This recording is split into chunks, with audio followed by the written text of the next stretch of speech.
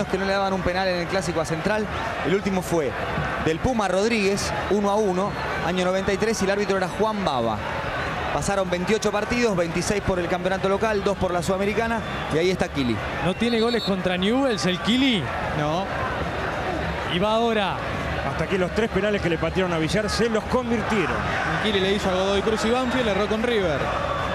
Le viene de atajar un penal Carrizo a González. Se toma todo el tiempo del mundo el Kili. Saca una piedra. Piensa. ¿A dónde le vas a pegar, Kili? Pita Lizondo, va González, va el Kili, va el capitán. ¡Gol!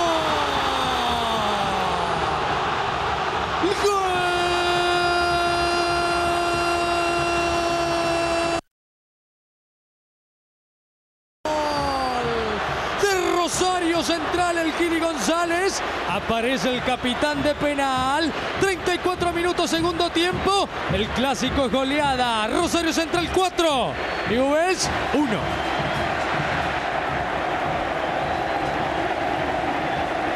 Si había un regreso soñado para González, acaba de concretarse. Volver, ganar el Clásico por goleada y meter un gol. Este partido le quedan 13 minutos y está con 9 Newells. Primero el, el que le hace a Newell.